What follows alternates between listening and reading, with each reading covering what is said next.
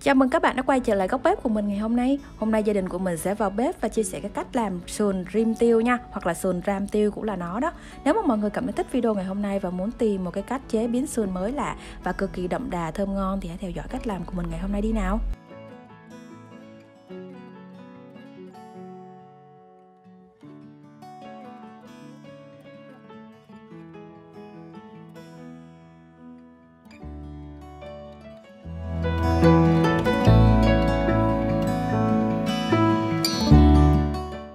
Và đây là tất cả nguyên liệu gồm có. Đầu tiên thì chúng ta sẽ có 600g sườn non. Sườn non này thì mình đã chặt ra thành những miếng vừa ăn rồi ha. 1,5 muỗng canh nước mắm.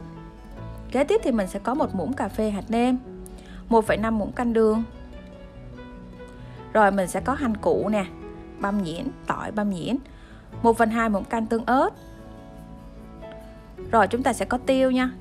Đầu tiên đối với cái phần sườn non thì chúng ta sẽ đổ vô thau và mình sẽ tiến hành mình rửa qua nước nóng và muối bây giờ thì mình sẽ cho nước sôi vô đây nè.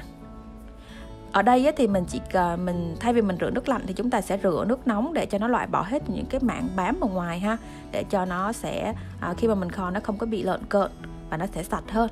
Rồi sau khi mà mình rửa qua nước sôi như thế này rồi thì chúng ta sẽ mang đi rửa lại với nước lạnh. Rồi sau khi rửa lại nước lạnh rồi thì chúng ta sẽ đổ vô một cái tô và mình sẽ tiến hành mình ướp nha ở đây thì mình sẽ cho vô một muỗng uh, cà phê hạt nêm nè.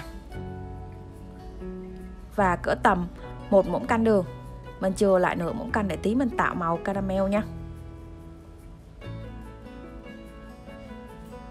Rồi kế tiếp thì mình sẽ cho tương ớt vô.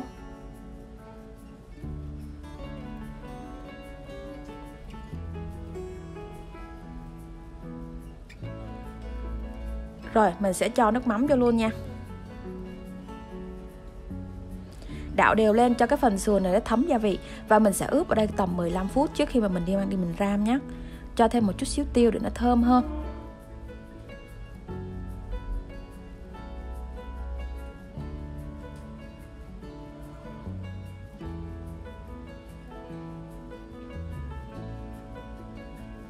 Rồi, mình sẽ ướp ở đây tầm 15 phút. Sau khi đủ thời gian rồi thì chúng ta sẽ tiến hành mình mang đi mà mình ram bắt lên bếp một cái chảo và mình cho vô đây cỡ tầm một muỗng canh dầu ăn. Ở đây thì mình cho tầm một muỗng canh dầu ăn luôn á. À, tại vì khi mà mình kho mình ram như thế này mình cho nhiều dầu ăn một chút xíu để khi mà mình nó sắc lại nó nó có cái độ bóng của sườn. Và mình sẽ cho cái phần đường vừa nãy còn lại mình cho vô ha. Bây giờ thì nó đã lên màu caramel rồi nè thì chúng ta sẽ cho hết cái hành và tỏi băm nhuyễn vô mình khử thơm.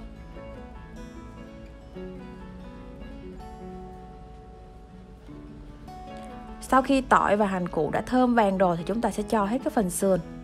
Vô và mình xào cho nó xanh lại nhé.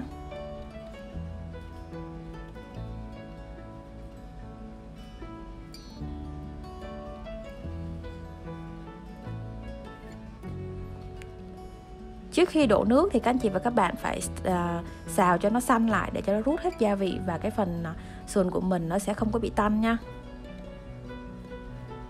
đó nó sẽ lên màu đẹp hơn nữa đó tại nó áo một lớp màu caramel.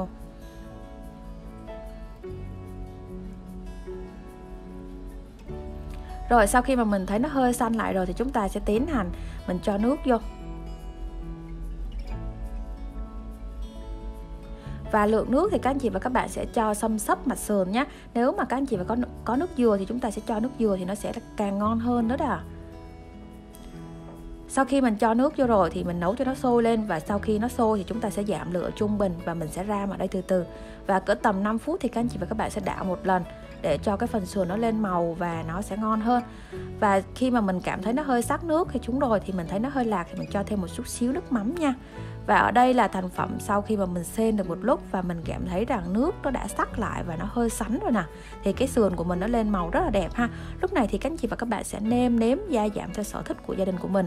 Nếu mà mình cảm thấy nó chưa vừa ăn thì chúng ta sẽ nêm thêm. Và vừa ăn rồi thì chúng ta sẽ cho tiêu vô nha